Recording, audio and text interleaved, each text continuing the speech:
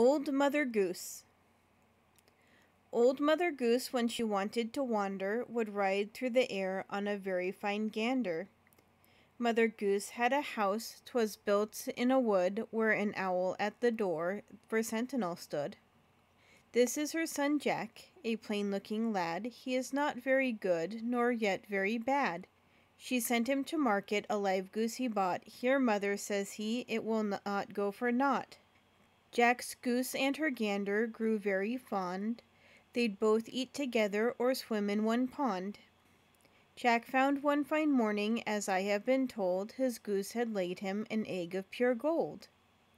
Jack rode to his mother the news for to tell, She called him a good boy and said it was well.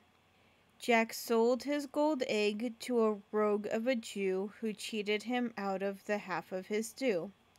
Then Jack went a courting a lady so gay, As fair as the lily and sweet as the May.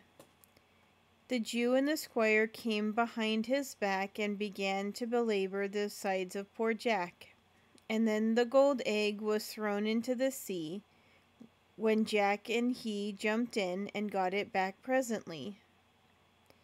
The Jew got the goose which he vowed he would kill, resolving at once his pockets to fill.